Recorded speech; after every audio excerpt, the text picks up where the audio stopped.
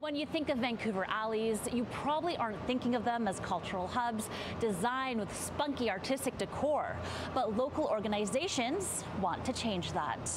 A Vancouver Awesome Alley is interactive, it's immersive, it's bright. The first phase of the five year revitalization plan by HCMA Architecture and the Downtown Vancouver Business Improvement Association includes three additional alleys that will be transformed into funky interactive places meant to encourage wander and play, which are slated to be complete by next spring. Alleyways make up to 30% of all public space in the downtown core. The idea is that it enhances the public space and attracts more people downtown, which, you know, will lead to an economic boost in Vancouver. With three alleys already serving as public attractions, including one on Smithe Street and another one off of Granville, HCMA has aspirations to transform more, to bring the community together.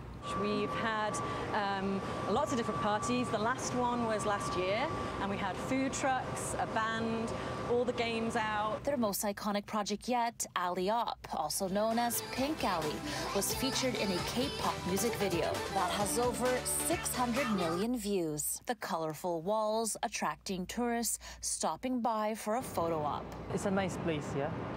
Very beautiful. Beautiful. Comfortable streets.